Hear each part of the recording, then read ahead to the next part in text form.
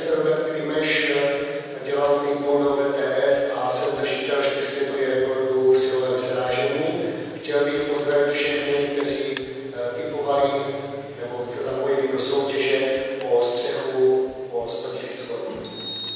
Tak, při každém pokusu a eh, pokusu o světový rekord nebo český rekord se každá střešní taška musí zvážit